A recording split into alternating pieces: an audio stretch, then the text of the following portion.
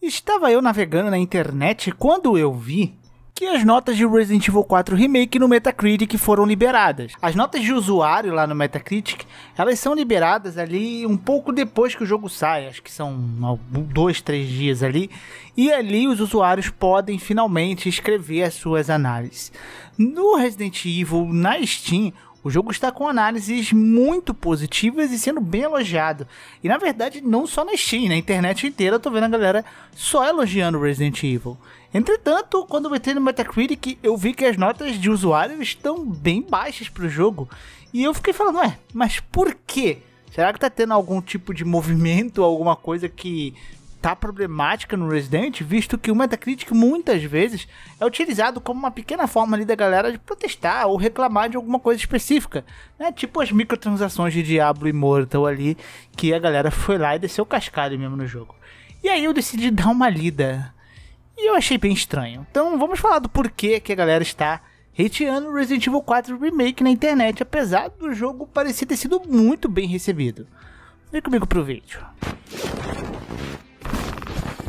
Então, Resident Evil 4 saiu e é um baita de um remake, né? O jogo tá muito bom graficamente, na gameplay dele tá muito boa. Para mim também, assim, não tenho o que reclamar. Sim, o jogo tirou algumas coisas, né? E a gente fez vídeo aqui comentando de coisas ali que foram removidas de Resident Evil 4 Remake, mas em contrapartida eles adicionaram outros elementos, tanto que se você for jogar e zerar você ver que o tempo de gameplay é basicamente o mesmo do clássico ali, 16, 17, 18 horas aí, dependendo do seu ritmo de gameplay. Entretanto, o que me causou uma certa confusão ali, né, quando eu estava vendo as notas negativas, se você for ver, por exemplo, no PlayStation 5, onde está mais alto, está com 71, mas você tá no Xbox, por exemplo, tá com 50, no PC tá com 50 e no Play 4 tá com 44, cara. Eu achei muito absurdo. No Play 4, eu meio que entendi, porque eu vi a galera reclamar que tava com problemas de texturas e tal. Eu não joguei no PlayStation 4 para poder dar a minha opinião aqui, mas eu realmente vi esse tipo de reclamação, o que pode sim, né? E eu vi muitas pessoas comentarem sobre isso. Entretanto, na versão de PlayStation 5 e Xbox, as reclamações foram um pouco mais genéricas do meu ponto de vista e de coisas que eu me surpreendi de certa forma né? Porque assim, sim, tinha umas reclamações de coisas que eu imaginaria que alguns fãs não iriam gostar. Como por exemplo a remoção do boss, o 3, é uma remoção de uma luta de chefe inteira do jogo. Embora em contrapartida eles adicionem uma outra boss fight, querendo ou não, você tirou um boss do jogo é algo que é um tanto polêmico. Alguns outros trechinhos do jogo também foram removidos, algumas coisinhas aqui e ali, né? E para adição de outras coisas. E você tem contra alguns comentários desse tipo de fato ali. Entretanto, o que a grande maioria está reclamando é na questão da qualidade geral do jogo. Tipo assim, eu vi muitos, muitas é, reclamações de pessoas falando da movimentação, que a movimentação do personagem está dura, tá lenta e está pior que a versão clássica de Resident Evil 4. O que eu estranhei, porque o giro do Leon no Resident Evil 4 é algo muito ruim hoje em dia. Embora na época o jogo revolucionou mecanicamente, isso é inegável. Hoje em dia, embora a gameplay do jogo não seja muito datada assim, a, a, a direção de você ficar girando, movimentando o Leon, hoje em dia é um pouco ruim, né? E no 4 isso melhorou bastante. No 4 Remake, no caso, né?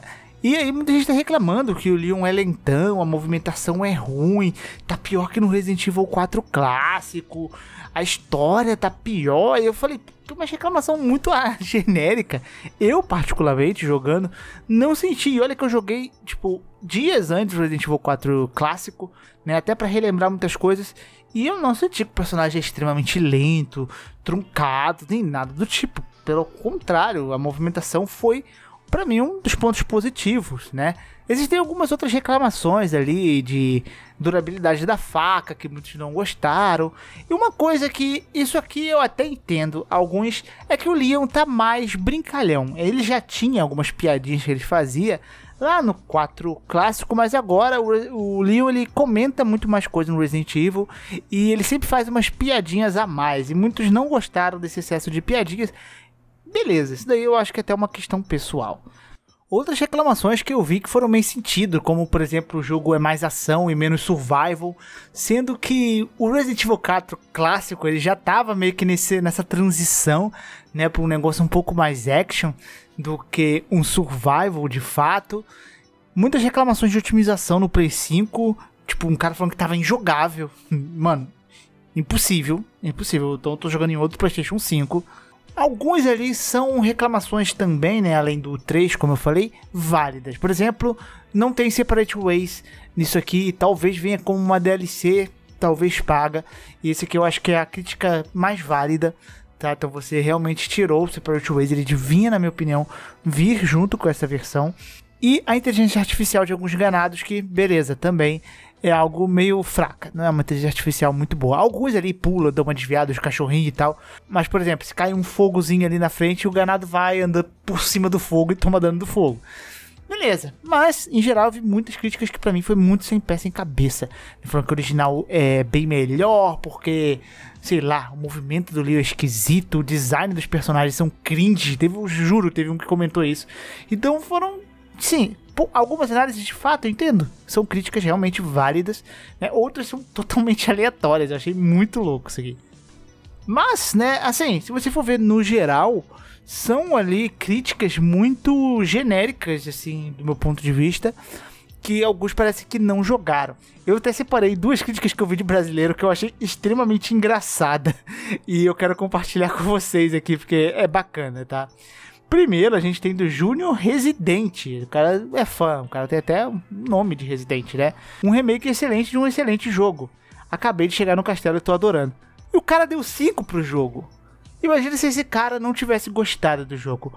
Ou será que ele deu 5 porque ele chegou no castelo, que é a metade do jogo, e ele deu a metade da nota. Ele vai dar a outra metade depois. Eu não sei, mas achei extremamente engraçado esse comentário. E aqui a gente tem do Dantes Dias, né? Ele falou que vai fazer uma crítica isenta do jogo. O jogo original tem criatividade, criou personagens do zero, não usou atores para tudo, não tinha queda de desempenho com tanta frequência, a jogabilidade era melhor, o estilo gráfico era mais original, enfim, o enredo 100 vezes melhor, o enredo é basicamente o mesmo, mas por algum motivo o clássico era 100 vezes melhor. Afinal, foi lá que começou tudo. A, até aí, né? Onde começou tudo foi a parte que ele acertou. Realmente começou tudo no 4. Já o remake é péssimo, queda de desempenho, que eu particularmente. Isso aqui é uma análise de Play 5, então eu não percebi. Personagens foram usados atores, pois os desenvolvedores não conseguem mais criar personagens do zero. Literalmente a indústria inteira não sabe mais criar personagens do zero, né? Pô, você pode usar captura de movimento facial para deixar o negócio mais realista mas é mais importante você criar personagens do zero. Inclusive, eu acho que o pior jogo da vida desse cara deve ser o Unimusha 3, né? Porque pô, o cara não tem criatividade para criar um personagem do zero aqui. A jogabilidade lenta me irrita, como se não fosse fácil, né, girar com o Leon no 4 clássico. Enredo modificado ficou péssimo, as modificações de enredo são bem poucas na minha opinião, eles seguem bem o ritmo do original. Os gráficos nada demais, enfim, não vale a pena. Nota 1 pelo nome Resident Evil 4.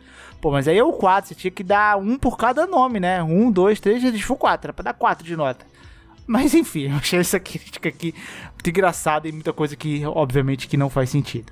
Mas na minha opinião, guys, notas no Metacritic, muitas vezes, para mim, elas servem como alguma forma de protesto. Né? As, form as formas mais fáceis para mim de você ver o descontentamento de usuários de forma mais real é na Steam, né? Porque na Steam os caras têm que ter jogado. Você vê uma crítica, você vê quanto tempo o cara jogou pra ele estar tá tecendo aquela crítica, se ele zerou o jogo ou não, se ele se quebra o jogo ou não. O Metacritic qualquer um pode criar conta. Muita gente ali estava desconfiando que parece que teve um ataque de massa ali de pessoas usando tipo bot para poder reclamar do jogo por algum motivo. Tanto que você vê que muitos comentários são genéricos em relação à qualidade do jogo e comentários que talvez seria, fariam mais sentido, né, como remoção do 3, são comentários que aparecem muito poucos.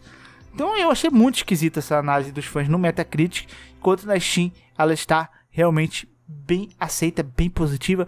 E olha que geralmente análises no PC tendem a ser mais criticadas que nos consoles devido a problemas de otimização e uma vasta variedade de hardwares.